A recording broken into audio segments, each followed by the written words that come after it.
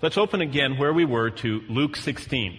We're right in the middle of a prophetic series for this reason. Only God can tell the future. Only God knows and can tell the future. And God has prophesied what is going to happen in the future. And I call this series, What's Next? Now, specifically, we're looking at what's next for every single individual on this planet.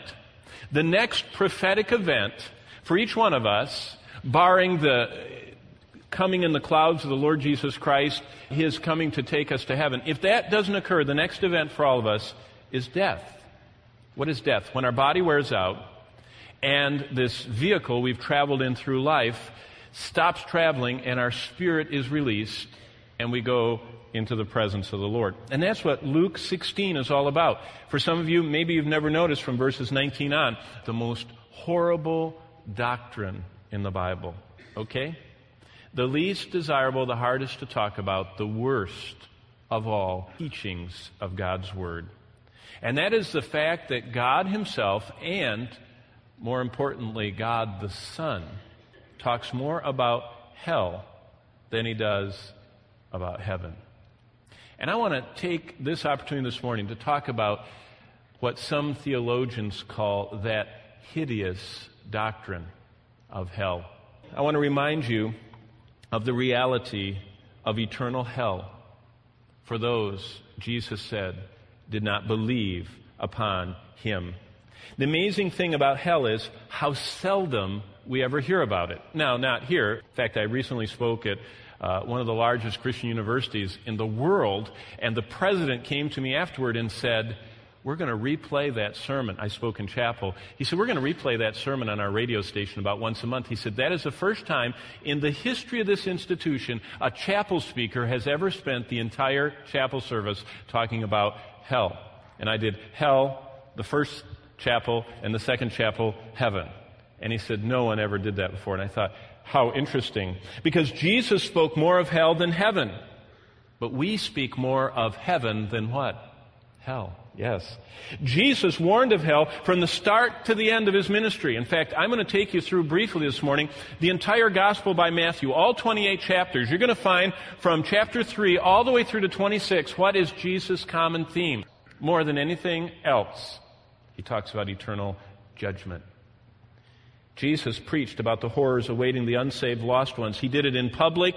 He did it in private. He did it with saints. He did it with sinners. Jesus speaks much of it. We speak little, seldom of it. It was almost 20 years ago when I began an intense study through the Bible, every verse, as I read through the scriptures and looked for every occurrence of this doctrine of the eternal punishment of the lost. And as I was studying, I collected a lot of material. Let me just give you a summary. In fact, someone wrote over 20 years ago a summary of all of the verses. If you just synthesize them, blended them together, and put them in a flowing uh, passage, this is what it would sound like. And I want to share it with you. That hideous doctrine of hell is fading. How often have you thought of it in the past month? Does it make a difference in your concern for others as you witness? Is it a constant burden on your heart? The fate of those who reject Jesus Christ. Our Lord's word on the subject are unnerving. Look here in Luke 16 with me.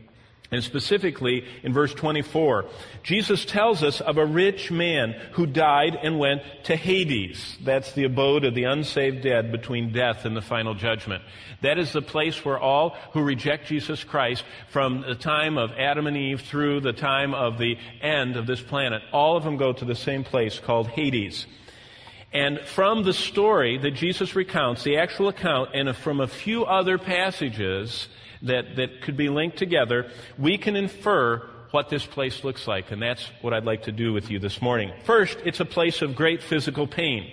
The rich man's initial remarks conclude with his most pressing concern. Look at verse 24 of chapter 16.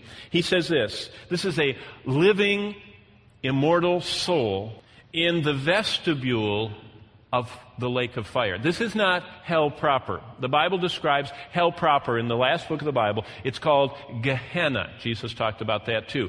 This place is the waiting room for that. Before the final judgment, Hades is the abode of the dead. This man was there. What does he say in verse 24? I am in agony in this flame, he says. We don't make much of that we should make much of that. We should let that sink in, what he said. We've all experienced pain to some degree.